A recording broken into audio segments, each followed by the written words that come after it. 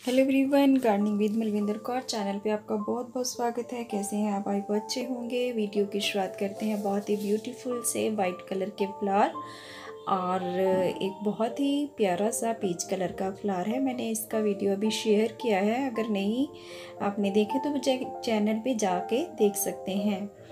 तो इसका जो आज मेरा वीडियो नहीं है। इस, जो मेरा आज का टॉपिक है वो है लेसनिया वेल या garlic vine garlic flower vine होता है, उसके बारे में हम बात करेंगे बट इससे पहले मैं अपने रोज़ जो है आपको दिखा देती हूँ।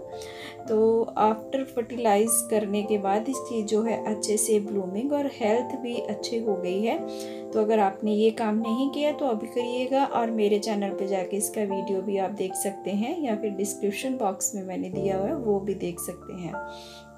तो चलिए आज हम स्टार्ट करते हैं एक बहुत ही खूबसूरत सा प्लांट गार्लिक पाइन इसके बहुत ही प्यारे फूल होते हैं और अगर आपने नहीं लगाया इसको अभी गार्डन में, अपने लगाइएगा क्योंकि इस प्लांट को लकी प्लांट भी माना जाता है और इसके फूल तो इतने खूबसूरत होते हैं कि आप देखोगे तो लगाने का ज़रूर मन करेगा। आप इस प्लांट को ज़रूर ट्राई करिएगा और ये सिंपल भाषा में हम इसे जो है गार्लिक वाइन प्लांट भी कह देते हैं। वुडी स्टेम वाला प्लांट होता है और अगर इसके जो है हम इसकी साइंटिफिक नेम की बात करें तो ये मनसोवा एशियाई इसका जो है साइंटिफिक नेम है, सरल सी भाषा में इसे लहसन या बेल भी कह देते हैं। ये देखिए, इसकी वुडी सी स्टेम होती है और आगे आगे इसकी ग्रोथ होती जाती है और बंचस में इसके जो है फूल आते हैं। अगर आपने नहीं ऐड किया अपने गार्डन में तो ज़रूर ऐड कर लीजिएगा,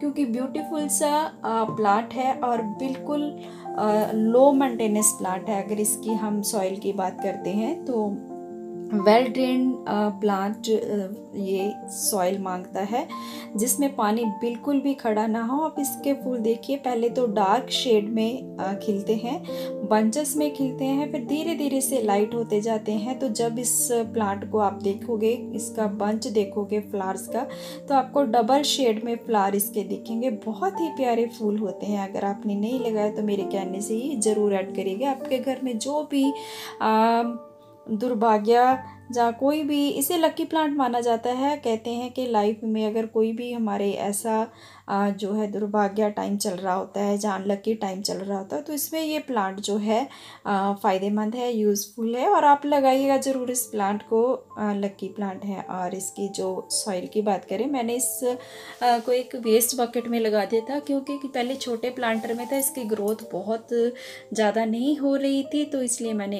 एक इसे बकेट में लगा दिया था। जो एक मेरी वेस्ट पड़ी थी। तो देखिए, उसमें मैंने पत्तियों की खाद है। मैंने जो भी मेरे गार्डन में पत्तियाँ होती हैं तो मैं उन्हें निकाल कर इस अपने प्लांट्स में इसी प्लांट में नहीं, बहुत सारे प्लांट्स हैं, उनमें डालती रहती हूँ। और ऊपर से फिर थोड़ी सी सॉइल वगैरह डाल दो तो इसका जो है डीकम्पोज होके आपके प्लांट को जो है इसका फ़ायदा भी मिलता है और एक फ्री का फर्टिलाइज़र जो है कह लो, वो मिलता है और खाद बन जाती है इन पत्तियों की तो आपके प्लांट को बहुत ही फ़ायदेमंद है।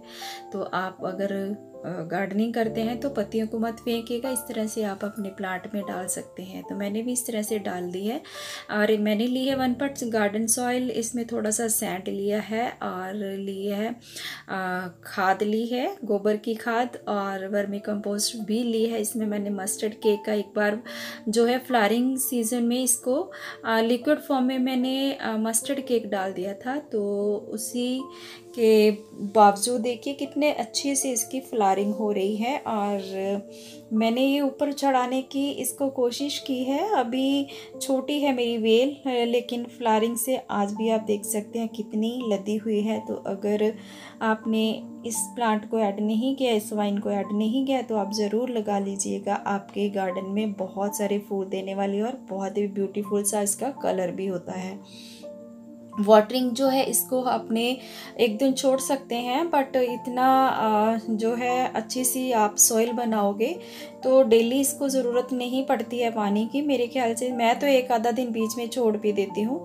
तो जैसे ही आपको लगे कि सॉइल इसकी सूखी है तो आप इसके जो है सॉइल को वाटरिंग करें इस प्लांट को। तो ये फुल सन में सर्वाइव करने वाला प्लांट है। और बिल्कुल लो मेंटेनेंस प्लांट है, इसकी कोई आपको केयर करने की ज़रूरत नहीं है और बस आप दो महीने बाद या डेढ़ महीने बाद इसको जो है फर्टिलाइज़ कर सकते हैं। वैसे मैं इसको आफ्टर सिक्स मंथ ही करती हूँ। जब इसकी फ्लारिंग होनी होती है उस टाइम में मैंने एक दो बार दे देती हूँ कंटिन्यू एक दो महीना छोड़ के तो इससे जो है अच्छी सी फ्लारिंग इसमें आ, हो जाती है। तो देखिए बहुत प्यारे फूल हैं अगर आपने नहीं लगाई तो फुल सन में इसको लगाइएगा कोई बात नहीं है कि इसमें इसको शेड में रखना है जो इस तरह सा कोई भी इसमें काम नहीं करना आपने। फुल सन में बेझिझक रखिएगा तो बहुत सारे फूल इसमें आ जाते हैं इस प्लांट की कटिंग से भी आप प्रोपोगेट इसे कर सकते हैं। तो मेरा आज का वीडियो था गार्लिक वाइन जो बहुत ही ब्यूटीफुल से प्रीटी से फ्लावर हैं। बंचस में है पर्पल कलर में है। अगर नहीं लगाया तो ऐड करिएगा। तो आ, अगर वीडियो पसंद है लाइक शेयर कमेंट करिएगा। चैनल पे न्यू है तो प्लीज़ सब्सक्राइब माय चैनल और अगर आपको कोई क्वायरी होती है तो कमेंट बॉक्स में पूछ सकते हैं। इंस्टा पे मुझे फॉलो कर सकते हैं। तो इस प्लांट के चलते एक जो है नई वीडियोस के साथ फिर से मिलते हैं आपके साथ। नई प्लांट की जो है डिस्कशन करेंगे तो ये था मेरा आज का टॉपिक पसंद आए लाइक शेयर ज़रूर करिएगा। हैप्पी गार्डनिंग खुश रहिएगा और प्लांट्स लगाते रहिएगा। Thank you thanks for watching my video have a nice day